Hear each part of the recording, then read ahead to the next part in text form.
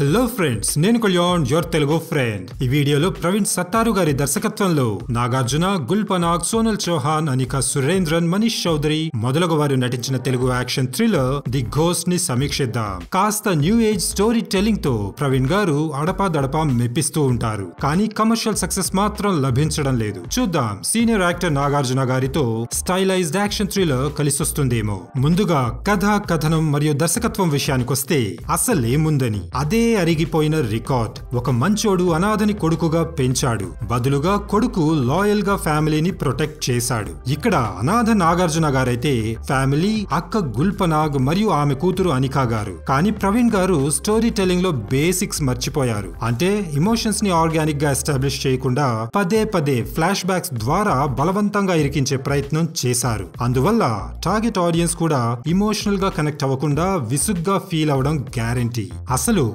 Emotions గురించి ఎందుకు చెప్తున్నానంటే ప్రవీణ్ గారు అత్తారింటికి దారేది స్టైల్లో ఎమోషనల్ ట్విస్ట్ పెట్టారు. తండ్రి తన పెళ్ళికి ఒప్పుకోలేదని కూతురు ఫ్యామిలీని వదిలేసి ఇరవై ఏళ్ళ పాటు హాయిగా గడిపేస్తుంది. కానీ ఆమెకి అవసరం వచ్చినప్పుడు మాత్రం తమ్ముడికే కాల్ చేస్తుంది. పైగా ఈ మూవీలో మేజర్ పోర్షన్ అక్కగారి ఫ్యామిలీ బిజినెస్ అఫైర్స్ చుట్టూ సాగుతుంది. కాబట్టి ఆమెతో ఎమోషనల్గా కనెక్ట్ అయి ఆమె గురించి కేర్ చేయకపోతే ఆమె సిచ్యువేషన్ పై ఆడియన్స్కి సింపతి ఎలా వస్తుంది? అందుకే ప్రవీణ్ గారు ఆమె యాక్షన్స్ ని రవ్వంత కూడా జస్టిఫై చేయలేక ఆమెతోనే చెప్పిస్తారు నా అవసరానికే పిలిచాను కదా అని. ఇక ఆమె కూతురి గురించి ఎంత తక్కువ చెప్పుకుంటే అంత మంచిది. గొప్పింటి పిల్ల కాబట్టి కాస్త అల్లరిగా చూపించొచ్చు. కానీ ఆరోగెన్స్ని కూడా బిలీవబుల్గా కాకుండా ఓవర్ ది టాప్గా చూపించారు. సరే యాక్షన్ మూవీలో ఇమోషనల్ కనెక్షన్ మాకెందుకంటారా? ఆ మ్యాటర్ కూడా తేల్చేద్దాం. చాలా మందికి అనిపించొచ్చు. మరి హాలీవుడ్ మూవీస్లో కూడా ఇంతే కదా? చిన్న విషయానికి లేదంటే బేసిక్ స్టోరీకి మేజర్ యాక్షన్ పెడతారు కదా అని. నిజమే John Wick Taken Man on Fire లాంటి ఎన్నో హాలీవుడ్ థ్రిల్లర్స్ అదే ఫార్ములాని పాటిస్తాయి. కానీ అవన్నీ కనీసం గోస్ట్ కన్నా అరగంట చిన్న సినిమాలు. ఉదాహరణకి లియాన్ నీజన్ గారి టేకెన్ జస్ట్ తొంభై నిమిషాల రన్ టైమ్తో ఉంటుంది. అందులో కూడా నాకు తెలిసి ఐదు పది నిమిషాలు క్రెడిట్స్ కే వెళ్ళిపోతాయి. So actual action portion short టైమ్లో స్లిక్ అండ్ థ్రిల్లింగ్గా అనిపిస్తుంది. కానీ రవ్వంత కథ కూడా లేని ఘోస్ట్ మాత్రం ఎటువంటి ఎమోషనల్ కనెక్షన్ ఎస్టాబ్లిష్ చేయకుండానే దాదాపు నూట నలభై నిమిషాల పాటు బబుల్ గమ్ లా సాగుతుంది. ఇక USP of the movie action ఎపిసోడ్స్ని చాలా థ్రిల్లింగ్గా చూపించారు కదా అనే వాళ్ళ కోసం చెప్తున్నాను. వాటిలో కూడా ఒరిజినాలిటీ లేకపోగా పూర్తిగా లాజిక్ లేని action. For example opening fight సీక్వెన్స్లో టెర్రరిస్టులపై అటాక్లో కేవలం ఇద్దరు ఇంటర్పోల్ ఆఫీసర్స్ ఏదో సరదాగా టార్గెట్ ప్రాక్టీస్ చేసినట్లు చూపిస్తారు. కానీ కాస్త కూడా థ్రిల్లింగ్గా అనిపించదు. తర్వాత కీలకమైన కిడ్నాప్ ఎపిసోడ్లో కూడా చిన్న పిల్లాడు బందీగా ఉన్నాడనే సెన్స్ కూడా లేకుండా హీరో గారు కొన్ని వందల బుల్లెట్స్ కాలుస్తూనే ఉంటారు.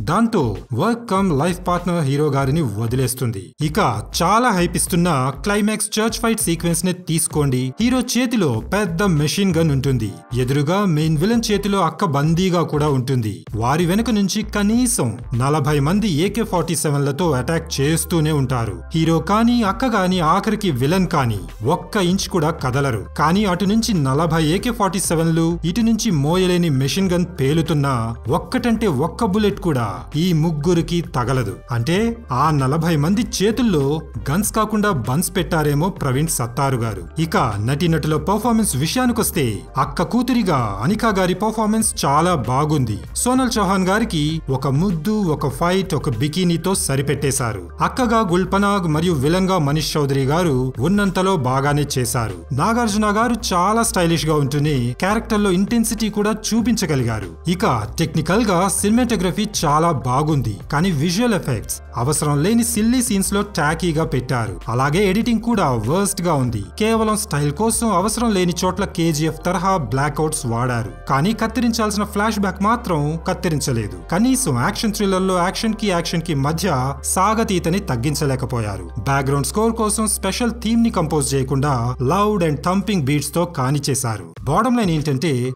నాగార్జున గారు చాలా హ్యాండ్సమ్గా ఉన్నారు కాబట్టి ఫ్యాన్స్ ఒక్కసారి ట్రై చేయొచ్చు. కానీ మిగతా ఆడియన్స్ అందరూ ఈ భూతాన్ని సేఫ్గా స్కిప్ చేసేయండి. అందుకే ఈ చిత్రానికి నేను ఇచ్చే rating four out of ten stars ఈ వీడియో నచ్చితే లైక్ చేసి షేర్ చేయండి. ఏదైనా చెప్పాలనుకుంటే కామెంట్ చేయండి. కానీ ముఖ్యంగా ఈ ఛానల్ని సబ్స్క్రైబ్ చేసుకుని నోటిఫికేషన్స్ కోసం పక్కనే ఉన్న బెల్ ఐకాన్ని ప్రెస్ చేయడం మాత్రం మర్చిపోకండి. ఎందుకంటే మీ తెలుగు ఫ్రెండ్ ఎప్పుడూ మీకోసం ఇన్ఫర్మేటివ్ కంటెంట్ తెస్తూనే ఉంటాడు. శుభదినం.